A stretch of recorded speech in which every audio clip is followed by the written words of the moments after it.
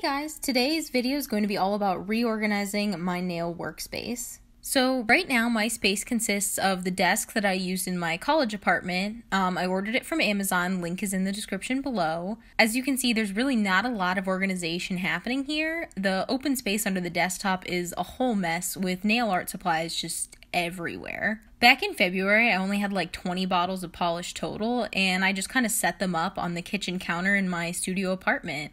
But now it's about six months later, and I've moved out of that apartment. And between regular polishes, stamping polishes, and my base and top coats, I've accumulated over a hundred bottles, and more are on the way. I also have a few collection boxes that I want to display that are currently just kind of hanging out on my gaming storage cubby over here.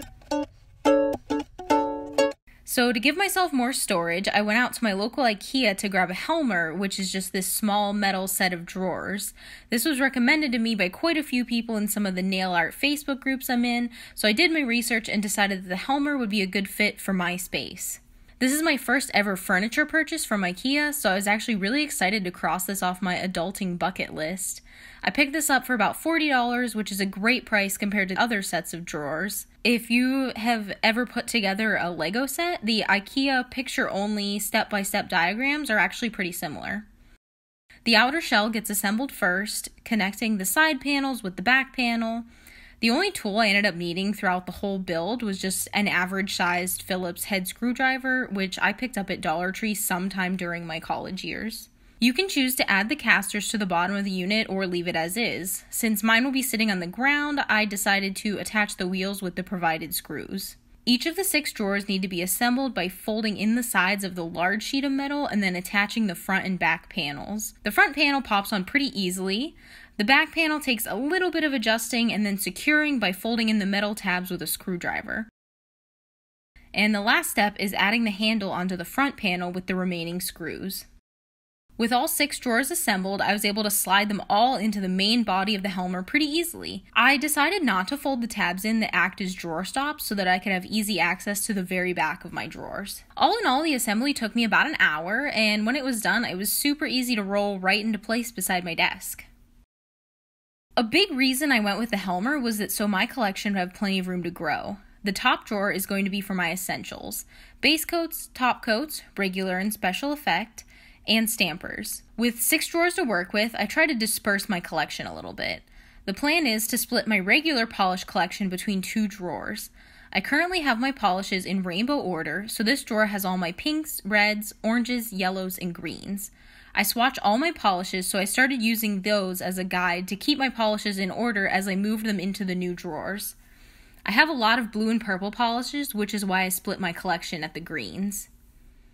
My regular polish collection is a mix of drugstore and indie brands, which is why there are so many different sizes and shapes of the bottles.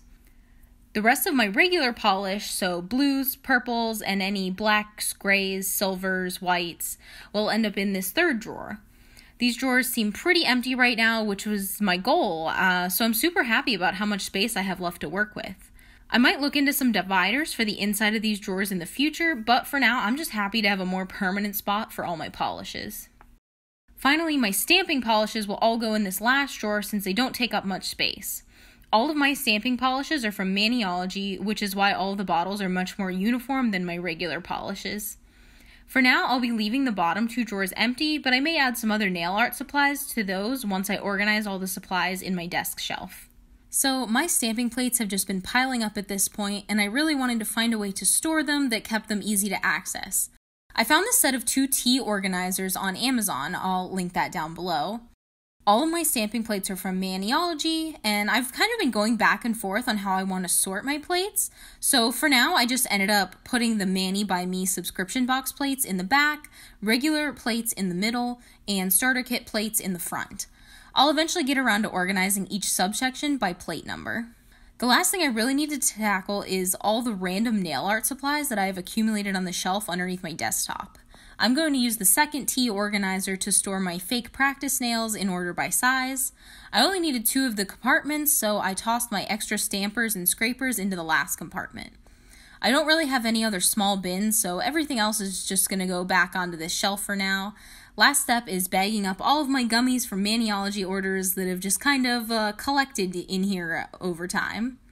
They only ship the gummies during the cooler months, so this stash needs to last me until fall gets here. Alright, so here's one last look at the before space. And here's the after.